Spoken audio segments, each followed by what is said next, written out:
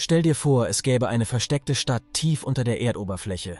Ein Reich, das seit Jahrtausenden verborgen liegt. Die Rede ist von Agartha, einer geheimnisvollen unterirdischen Zivilisation, die in den Legenden und Mythen vieler Kulturen vorkommt. Doch was, wenn diese Mythen mehr als nur Geschichten sind? Was, wenn Agartha tatsächlich existiert? Agartha soll von einer hochentwickelten Zivilisation bewohnt werden, die über unglaubliches Wissen und Technologien verfügt, die unsere Vorstellungskraft übersteigen. Diese unterirdische Welt soll frei von Kriegen, Krankheiten und Naturkatastrophen sein. Ein Paradies im Gegensatz zur chaotischen Oberwelt.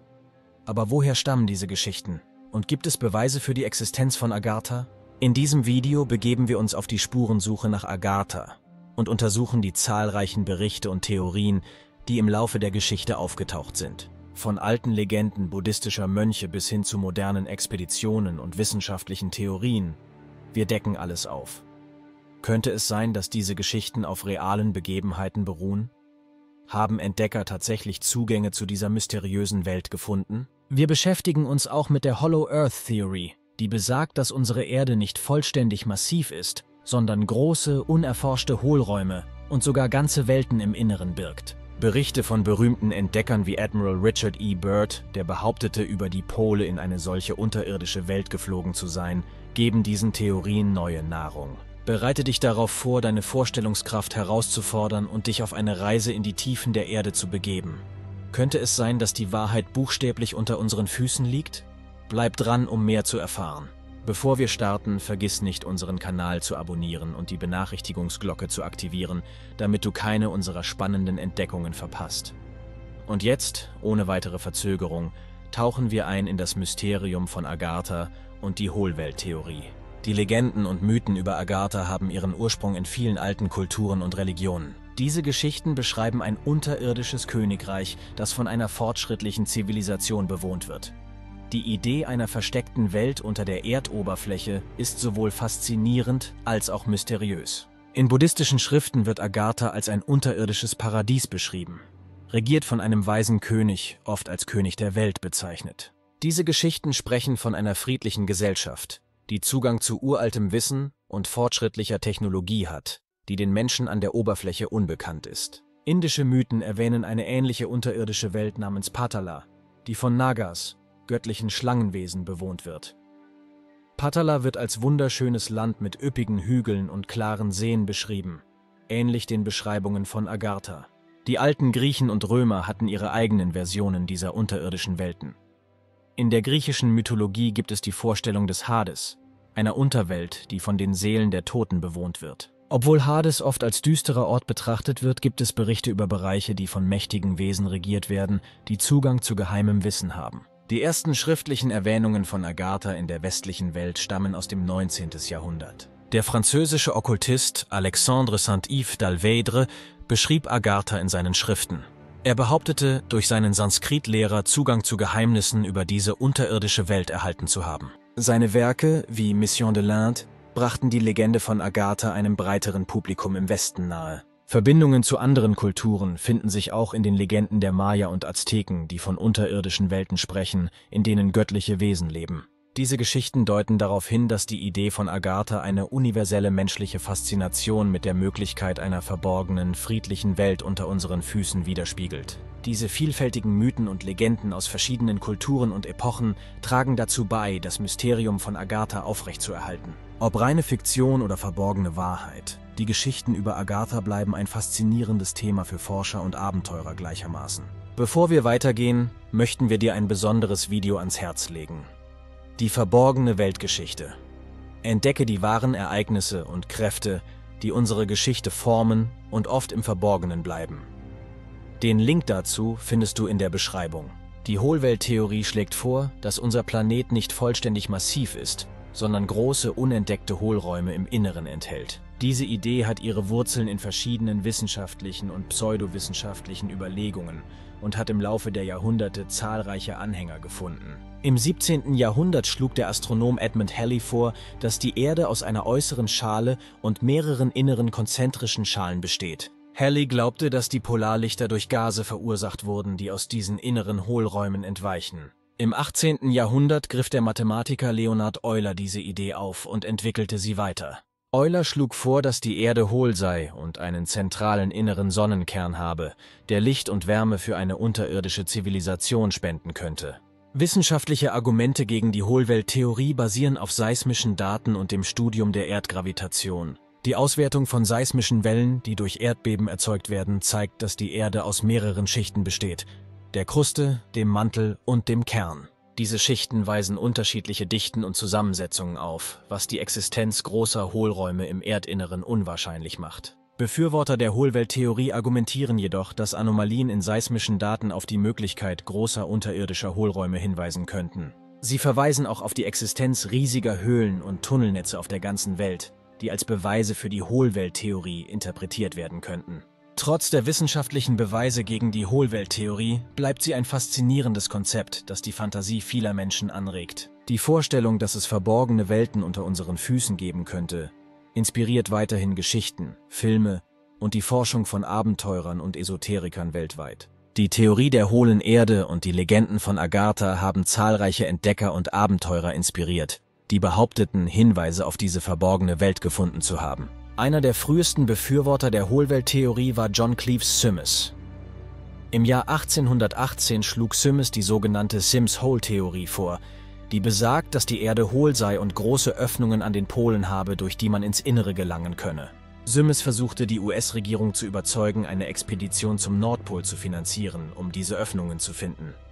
Obwohl seine Anträge abgelehnt wurden, fanden seine Ideen viele Anhänger. Ein weiterer bemerkenswerter Bericht stammt von Olaf Jansen, einem norwegischen Fischer, der behauptete, zusammen mit seinem Vater durch eine Öffnung am Nordpol ins Erdinnere gesegelt zu sein. In seinem Buch The Smoky God beschreibt Janssen eine wundersame Welt mit riesigen Pflanzen und Tieren, bewohnt von einer friedlichen Rasse von Riesen.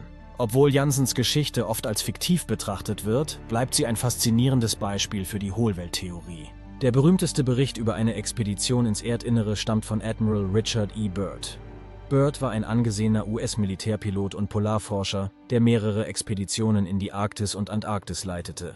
Im Jahr 1947 behauptete Byrd, während eines Fluges über den Nordpol auf eine grüne, üppige Landschaft gestoßen zu sein. Er berichtete von einer Begegnung mit hochentwickelten, friedlichen Wesen, die ihn vor den Gefahren von Atomwaffen warnten. Birds Berichte wurden oft angezweifelt, haben aber dennoch das Interesse an der Hohlwelttheorie belebt. Diese Geschichten und Berichte von Entdeckern haben zur Mystik und Anziehungskraft der Hohlwelttheorie beigetragen. Sie zeigen, wie tief verwurzelt die Faszination für das Unbekannte in der menschlichen Natur ist und wie stark der Wunsch, die Geheimnisse unserer Welt zu lüften, unser Denken prägt. Die moderne Wissenschaft hat zahlreiche Untersuchungen durchgeführt, um die Struktur der Erde besser zu verstehen.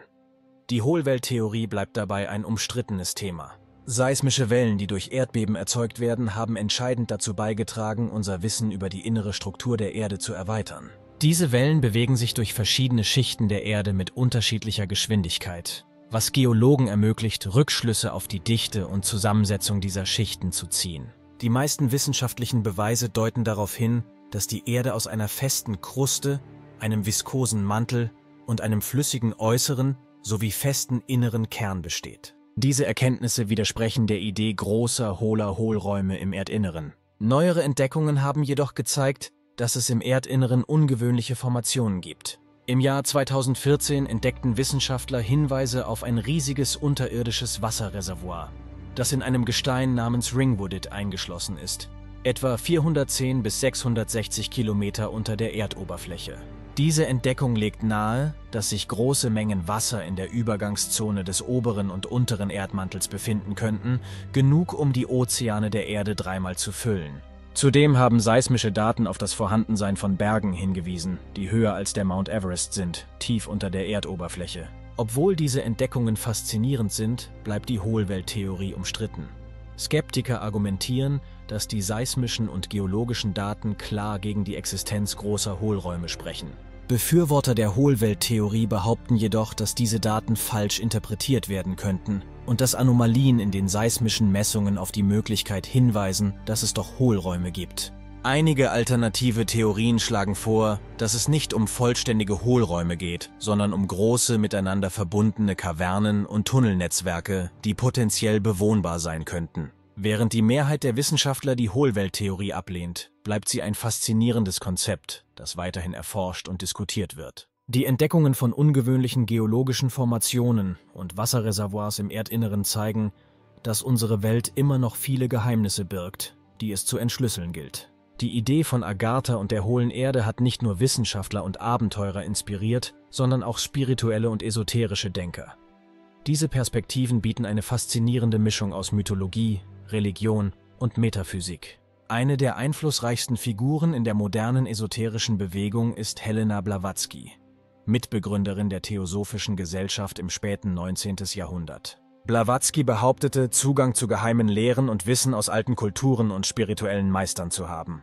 In ihren Werken, insbesondere in Die Geheimlehre, beschreibt sie Agatha als ein unterirdisches Reich, bewohnt von erleuchteten Wesen, die über fortgeschrittene spirituelle und technologische Fähigkeiten verfügen. Diese Wesen sollen in einer Art spirituellem Paradies leben und gelegentlich mit der Oberfläche interagieren, um ausgewählten Menschen Wissen zu vermitteln. Ein weiterer bedeutender Esoteriker war der französische Schriftsteller Alexander Saint-Yves d'Alveidre. In seinem Buch Mission de l'Inde en Europe beschreibt er Agatha als eine hochentwickelte unterirdische Zivilisation, die durch ein komplexes Netz von Tunneln und Höhlen mit der Oberfläche verbunden ist. Saint-Yves behauptete, dass diese Zivilisation über uraltes Wissen und fortschrittliche Technologien verfügt, die weit über das hinausgehen, was in der modernen Welt bekannt ist. Er beschrieb Agatha als eine Art spirituelles Zentrum der Welt, das von einem weisen und mächtigen König regiert wird. Die Vorstellung von Agatha findet sich auch in verschiedenen religiösen Traditionen wieder. In den buddhistischen Lehren wird Shambhala als ein verborgenes Königreich beschrieben, das ähnliche Eigenschaften wie Agatha aufweist. Es wird als ein Ort der reinen Weisheit und des Friedens dargestellt, der nur von den Erleuchteten erreicht werden kann. Auch im Hinduismus gibt es die Vorstellung von Patala, einem unterirdischen Reich, das von Nagas, göttlichen Schlangenwesen, bewohnt wird. Diese Beschreibungen ähneln stark den Erzählungen von Agatha. Die Verbindung dieser spirituellen und esoterischen Perspektiven zu den Mythen und Legenden von Agatha zeigt, wie tief verwurzelt die Faszination für eine verborgene, erleuchtete Welt in der menschlichen Psyche ist. Sie bietet eine alternative Sichtweise auf unsere Realität und inspiriert weiterhin diejenigen, die nach tieferem Wissen und Verständnis suchen. Die Legenden um Agatha und die Theorie der hohlen Erde beinhalten auch konkrete Behauptungen über geografische Zugangspunkte und unterirdische Tunnelnetzwerke. Diese sollen der Schlüssel zur Entdeckung der verborgenen Zivilisationen unter unseren Füßen sein. Es gibt zahlreiche Berichte über mögliche Eingänge zu Agatha, die sich an verschiedenen Orten auf der ganzen Welt befinden sollen. Einer der bekanntesten Zugangspunkte liegt in den Polarregionen. Sowohl der Nord- als auch der Südpol werden oft als große Öffnungen beschrieben, die den Eintritt in die hohle Erde ermöglichen. Weitere bedeutende Eingänge sollen sich in den Höhlen von Dyros in Griechenland, unter der Sphinx in Ägypten und in den tibetischen Himalaya-Bergen befinden. Diese Orte sind oft mit alten Legenden und religiösen Mythen verbunden, die ihre geheimnisvolle Aura verstärken. Zusätzlich zu den Hauptzugangspunkten gibt es viele Berichte über weitläufige unterirdische Tunnelnetzwerke, die verschiedene Teile der Welt miteinander verbinden sollen. Diese Tunnel sollen von alten Zivilisationen gebaut worden sein, um die unterirdischen Städte von Agartha miteinander zu verbinden und eine sichere und verborgene Fortbewegung zu ermöglichen. Einer der bekanntesten Berichte stammt von der angeblichen Nazi-Basis in der Antarktis, die durch ein ausgedehntes Netz von Tunneln mit Agartha verbunden sein soll. In den Vereinigten Staaten gibt es Berichte über Eingänge in den Mammoth Caves in Kentucky und am Mount Shasta in Kalifornien, wo angeblich eine unterirdische Stadt namens Telos existiert. Interessanterweise gibt es zahlreiche Berichte, die eine Verbindung zwischen diesen unterirdischen Zugangspunkten und UFO-Sichtungen herstellen. In vielen Fällen wurden UFOs beobachtet, die in die Erde eintauchten oder aus ihr herauskamen, insbesondere in der Nähe von vermeintlichen Eingängen zu Agatha. Einige Theorien schlagen vor, dass diese UFOs fortschrittliche Fluggeräte der unterirdischen Zivilisation sind. Ein weiterer bemerkenswerter Aspekt ist die Nähe einiger dieser Zugangspunkte zu Militärbasen. Ein Beispiel ist die Dulce-Basis in New Mexico, die angeblich über ein geheimes unterirdisches Labor verfügt und in der Nähe eines Eingangspunkts zu Agatha liegt. Diese Verbindung hat zu zahlreichen Verschwörungstheorien geführt, die besagen, dass Regierungen auf der ganzen Welt von der Existenz Agathas wissen und diese Informationen geheim halten. Diese Geschichten und Theorien über Zugangspunkte und geheime Tunnelnetzwerke tragen erheblich zur Faszination und Mystik um Agatha bei. Obwohl es keine wissenschaftlichen Beweise für ihre Existenz gibt, bleiben sie ein spannendes Thema für Forscher, Abenteurer und Verschwörungstheoretiker gleichermaßen. Die Vorstellung von Agatha und der hohlen Erde hat die Menschheit seit Jahrhunderten fasziniert. Von alten Mythen und Legenden über wissenschaftliche Theorien bis hin zu Berichten von Entdeckern und esoterischen Lehren, die Idee einer verborgenen unterirdischen Zivilisation bleibt ein spannendes und geheimnisvolles Thema. Zusammenfassend haben wir die historischen und mythologischen Ursprünge von Agatha untersucht, die in den Geschichten und Überlieferungen vieler Kulturen verankert sind. Wir haben die Grundlagen der Hohlwelttheorie und die wissenschaftlichen Argumente und Gegenargumente beleuchtet. Berichte von Entdeckern wie John Cleave Simmes, Olaf Jansen und Admiral Richard E. Byrd bieten faszinierende, wenn auch umstrittene Erzählungen über ihre angeblichen Reisen in das Erdinnere. Moderne wissenschaftliche Untersuchungen haben einige unerwartete Entdeckungen gemacht, die unser Verständnis der Erdstruktur erweitern, während spirituelle und esoterische Perspektiven von Elena Blavatsky und Alexander Saint-Yves d'Alvedre uns eine alternative Sichtweise auf Agatha bieten. Schließlich haben wir die zahlreichen Berichte über geografische Zugangspunkte und unterirdische Tunnelnetzwerke untersucht, die angeblich Agatha mit der Oberfläche verbinden. Könnte es wirklich eine solche Welt unter unseren Füßen geben? Während die Mehrheit der wissenschaftlichen Gemeinschaft die Hohlwelttheorie ablehnt, bleibt die Faszination für das Unbekannte stark. Die Geschichten von Agatha sprechen tief verwurzelte menschliche Sehnsüchte nach Frieden, Wissen und einem besseren Leben an einer Welt, die vielleicht weit entfernt erscheint, aber gleichzeitig so nah sein könnte. Wir möchten von dir wissen, was hältst du von der Theorie der hohlen Erde und der Legende von Agatha? Glaubst du, dass es eine versteckte Zivilisation gibt, die nur darauf wartet, entdeckt zu werden? Teile deine Gedanken und Meinungen in den Kommentaren unten. Deine Beiträge sind uns wichtig und helfen uns weiterhin spannende Themen zu erforschen und zu diskutieren. Vergiss nicht, unseren Kanal zu abonnieren und die Benachrichtigungsglocke zu aktivieren, damit du keine unserer zukünftigen Entdeckungen verpasst. Wenn dir dieses Video gefallen hat, gib uns einen Daumen nach oben und teile es mit deinen Freunden. Vielen Dank, dass du uns auf dieser faszinierenden Reise begleitet hast. Bis zum nächsten Mal. Bleib neugierig und aufgeschlossen.